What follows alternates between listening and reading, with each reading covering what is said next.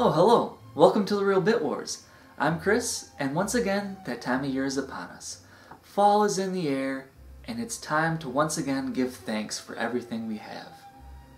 And this November in particular, we have two very special things to give thanks for.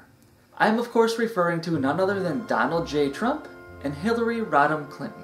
Has there ever been another election year where we've had such worthy candidates? I mean, talk about a difficult decision.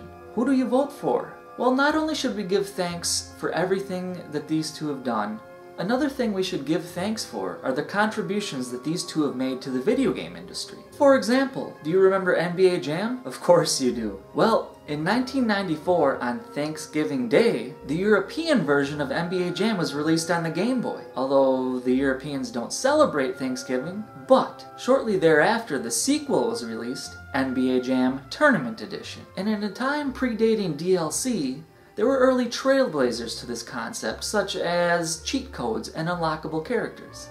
And who was unlockable in this game? None other than Hillary Clinton and her First Lady Bill. Unfortunately, neither of them can play that well. Who'd have thought? And as for Mr. Trump, well, you PSP fans owe a debt of gratitude to him. You see, the UMD video version of Home Alone 2 was released on the PlayStation Portable. And who stars in that movie? None other than Donald Trump. Down the hall and to the left. There you have it. Wait a second, go back. No, not that part. There. Down the hall and to the left. Freeze! Down the hall and to the left, Kevin clearly makes a right turn.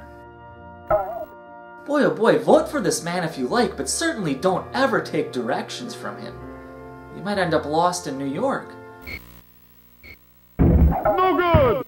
Boy, these candidates really aren't all they're cracked up to be. Ugly shot! Do you want to vote for the guy who doesn't know left from right? Or the woman who throws enough bricks to build a wall?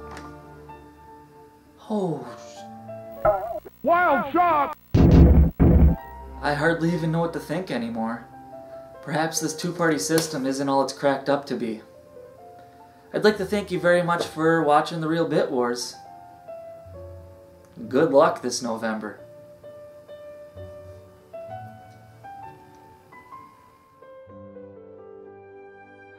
Ugly shot!